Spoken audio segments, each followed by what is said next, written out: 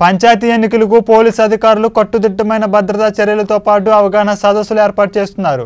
ఇందులో భాగంగానే ప్రకాశం జిల్లా మార్కాపురం మండలం నందు జిల్లా ఎస్పీ సిద్ధార్థ్ కౌశల్ ఆదేశాలతో హైపర్ సెన్సిటివ్ గ్రామాలైన గొట్టిపాడియా పెద్ద యాచవరం గ్రామాలలో మార్కాపురం సిఐ కేవీ రాఘవేంద్రరావు ఆధ్వర్యంలో తమ సిబ్బందితో కలిసి ఫ్లాగ్ మార్చ్ నిర్వహించారు.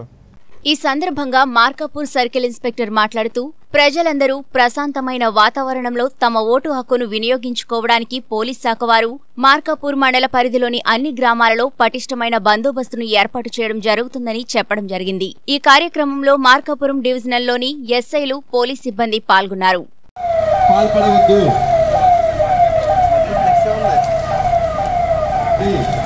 పోలీసు వారు మీకు అందుబాటులో ఉంటారు. సమయంలో కూడా ఓటు హక్కును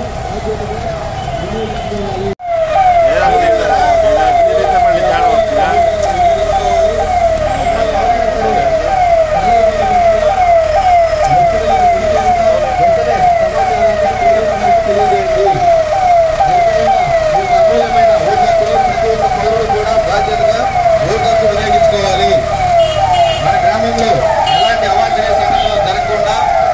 మీ ఓటు హక్కును ప్రతి ఒక్కరు కూడా బాధ్యతగా ఓటు హక్కు వినియోగించుకోవాలి.